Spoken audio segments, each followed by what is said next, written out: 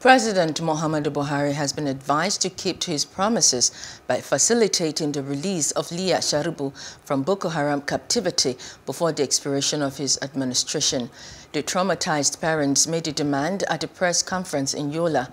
Meanwhile, one of the victims of the Boko Haram kidnappings, who recently regained freedom, shared her encounter with Leah and others. She confirmed that she had two babies for the outlawed husband, calling on government to remember those still in the clutches of the outlaws. Leah Sharibu was one of the 110 female students of the Government Girls Science and Technical College, Dapchi, Yobe State, who were abducted on February 19, 2018 by Boko Haram terrorists. While others were released by the terrorists following negotiations, Leah, then 14 years old, continued to be held captive because she refused to renounce her Christian faith. I'm pleading with the President of Nigeria, Mr. Muhammad Buhari, to fulfill his promise because he has made several promises.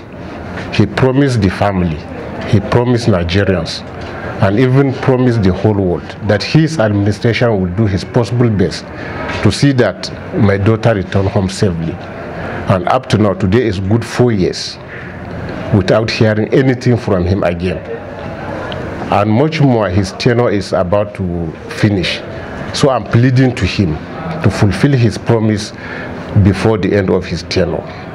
And I'm calling for the Nigerians and the members of the press to please put pressure on the federal government concerning the release of my daughter. We are counting few months for him to step down or to end his tenure. So the legacy we are pleading with President Buhari that will help the family of Leah Sharibu and the entire Nigerian people to remember him is that he has fulfilled that promises that he has made four years down the lane and set Leah free.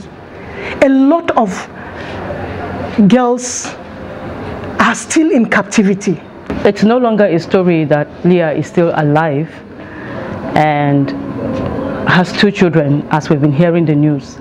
So Leah is very much alive.